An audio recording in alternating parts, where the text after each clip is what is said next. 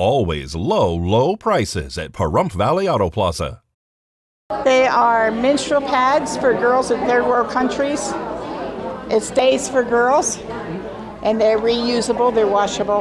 We also make hats and scarves uh, to donate to the for, uh, Community Coalitions. We donate quilts over there too. Uh, we also make quilts that we donate to the chemo center here in Pahrump for chemo patients. We uh, make quilts for Sleep in Heavenly Peace, and we donate quilts there. Uh, we donate quilts to the uh, Salvation Army, not to be sold, but only to be given away.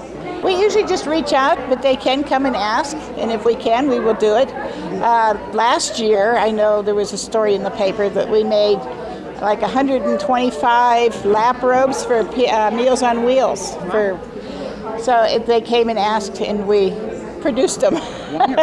and then, how is this all paid for? Out of our pockets. We put in our own money, uh, donated fabrics.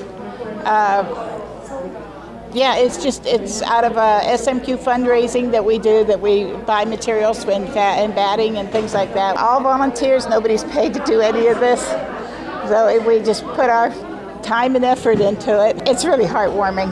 Yeah, especially uh, my quote coordinator Barta. She does it at the cancer center, and some of those patients actually cry. They are so thankful to get the uh, the quilts because they're cold in there, Yeah. and they need the warmth. And it's somebody that cares.